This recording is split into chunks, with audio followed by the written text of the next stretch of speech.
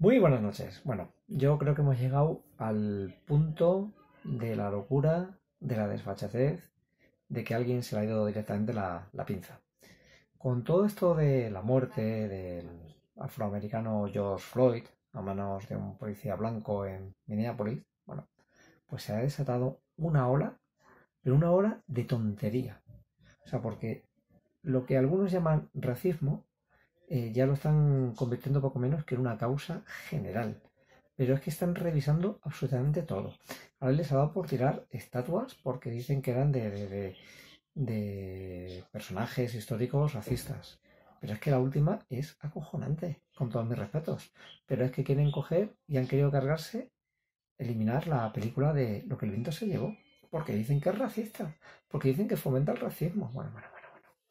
Yo, mm, de verdad, sinceramente creo que, que, hemos perdido el norte. O sea, al final la plataforma HBO ha tenido que reponer la película, pero con una nota explicativa, hablando de que, bueno, que era un contexto histórico. Pero, ¿qué demonios hay que explicarles? ¿Qué demonios hay que explicar aquí? No hay nada que explicar. Bueno, vamos a ver. Vamos a empezar a coger también, a, re- hacer revisionismo de las películas. Bueno, pues, empecemos a hacer revisionismo de todas las obras de arte, pues vamos, racismo podemos encontrar a tutiplén. De verdad, insisto, esto me parece auténticamente deleznable. Pero en fin, esto es la sociedad, esto es la globalización que tenemos, que está produciendo, como digo yo, auténticos disparates, pero vamos, en cadena. Muy buenas noches y que tengan ustedes un muy feliz descanso.